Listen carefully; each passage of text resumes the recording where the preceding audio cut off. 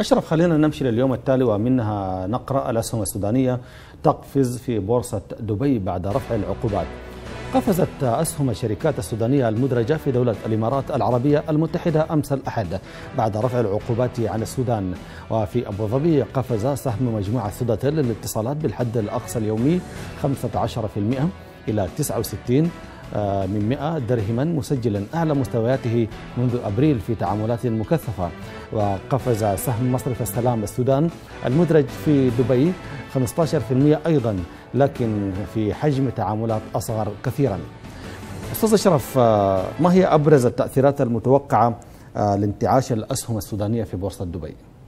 هو من الواضح أن القرارات يعني تركت كثير من الآثار على الاقتصاد السوداني بسرعة مسهلة ولكن هل السؤال هل هذه التأثيرات ستكون مستمرة ومبنية على أسس منطلقة من قواعد راسخة للاقتصاد السوداني أم أنها مجرد فورة بين مزدوجتين وستنتهي؟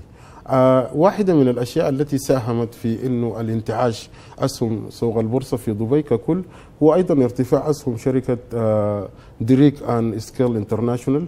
وهذه الشركة هي شركة مقاولات واستطاعت أن تنشئ فروع جديدة وتعيد هيكلتها وهي ما ساهم في رفع بورصة دبي ككل.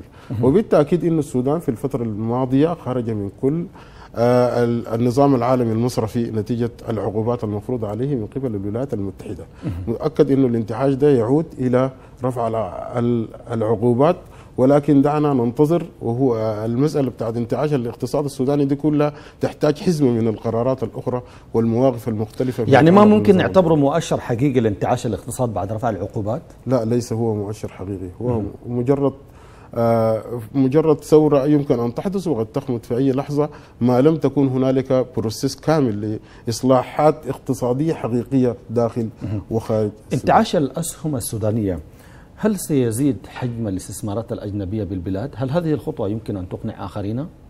نعم قد تقنع كثير من الآخرين اليوم هنالك وفد من الاتحاد الأوروبي وهنالك وفود أخرى بدأت تتحدث عن الاستثمار ولكن الاستثمار في السودان لا يحتاج لارتفاع الأسهم فقط حتى يقتنع المستثمرون بال يعني للاستثمار في السودان. هنالك كثير من المعوقات التي تواجه الاستثمار في السودان هي التي تمنعهم وتحول دون قدومهم إلى الخرطوم للعمل في الاستثمار في السودان.